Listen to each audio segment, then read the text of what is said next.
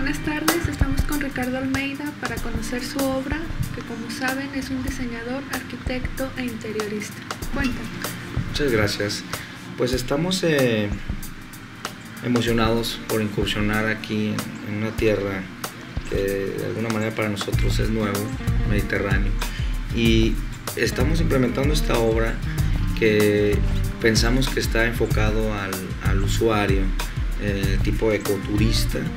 De alguna manera lo que queremos es ver y dar a digerir a las personas la forma de nuestra identidad, de nuestros proyectos, ¿no? cómo se maneja. Ricardo, ¿cuál es tu fuente de inspiración en donde alberga la obra?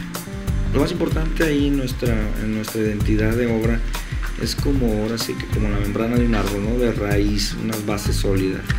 Yo pienso que está eh, relacionado a un estudio de metodología particular y general en donde podemos visualizar bien las necesidades eh, de lo que se necesita y se requiere a nivel hospitalario o residencial para llegar a un buen lineamiento de proyecto.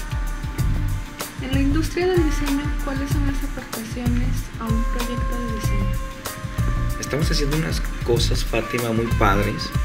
Para nosotros, está la forma, el color, la textura y estamos implementando herrajes para hacer muebles multifuncionales, eh, transformables inclusive.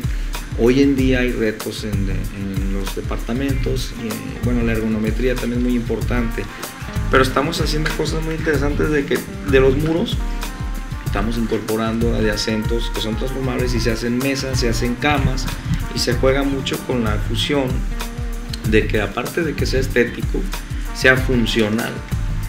Ricardo, ¿cuántas personas participan en tu organismo y estructura de interiores? Traemos varias células.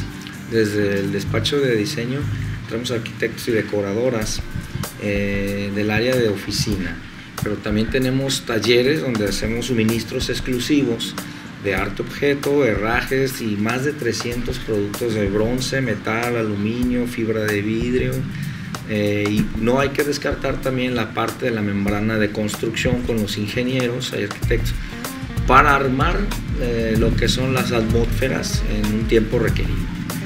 Ricardo, cuéntanos actualmente qué estás realizando. Ahorita traemos un proyecto muy interesante que está enfocado a la calidad de vida en el usuario, ya sea residencial o institucional o ambos.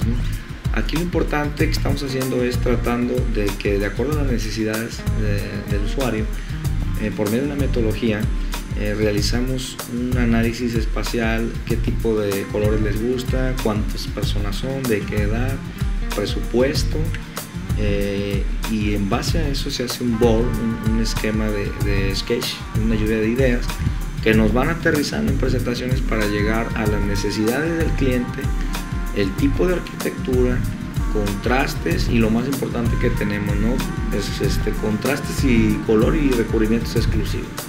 Estamos muy contentos de recibir tu obra aquí en Los Cabos y esperamos verte muy pronto. Muchas gracias, Fátima. Muchas gracias.